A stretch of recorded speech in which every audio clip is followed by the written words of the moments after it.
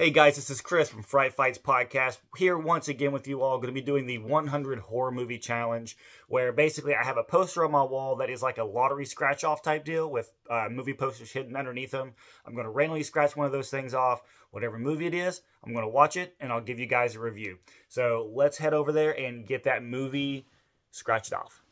All right, we're at the wall. Last time we landed on Suspiria, and I gave a small little quick review on that one. This time, let's take a look at what we're going to get and let's do... Let's see what we get here. Don't know what this is yet. What is this? The Exorcist. The original Exorcist. All right, there we go, guys. The Exorcist. Well, let me go watch the movie, and I will be right back. All right, guys, just got done watching The Exorcist, the original Exorcist film, and man, I forget how long that movie is, or at least it feels really long. Um, I still find this movie to be really boring. I like the movie, don't get me wrong, I like the movie. I just find it to be extremely slow. Even the parts that I enjoy, the build up to them are just so slow and dramatic that it just it makes the whole movie feel way longer than it actually is.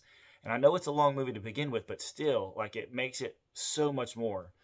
Um, my favorite part is still like looking back at it this time around. Used to, I used to love the scene where everything is moving around in the bedroom, like all the stuff's flying through, and uh, she's, you know, uh, she's up on the bed. Linda Blair is up on the bed sitting, and Regan character is making everything just move around the room. The bed's like she's like hitting the bed with everything. The mom walks in, gets knocked across the room. Still love that scene, but I think the the original exorcism scene is now my favorite one. Watching it this time around, I was more interested and more into that scene where they're performing the exorcism more than any time else that I've watched the movie. Um, like I said, I love that one scene where everything's floating around though.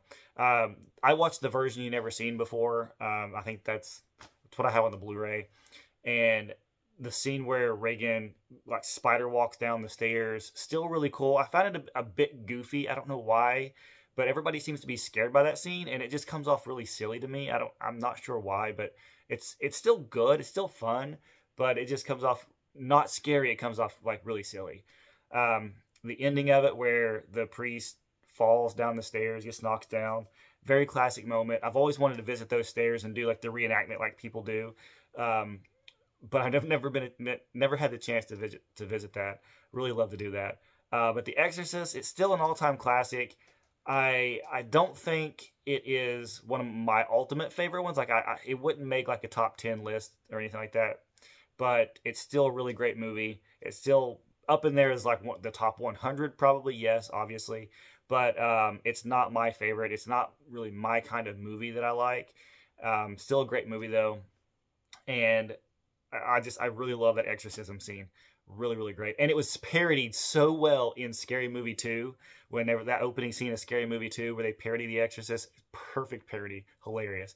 But um, different take I, I usually rate the movie for the exorcist. I usually give it uh, about an 8 out of 10 um, this time going in, even though that I found it a really slow and boring, I found a couple other scenes to be a little more interesting this time as far as story goes. And I, I think I'm at like an 8.5 uh, for a rating right now. I know a lot of people give it a 9 and 10 out of 10, 9 and 10s, but uh, I got to go with an 8.5. Um, but that's The Exorcist, the original William uh, Friedkin film. So Hope you guys liked my little mini review on this, and hopefully you guys will watch a little bit more of these and see which movies I get a chance to watch again. So, see you guys.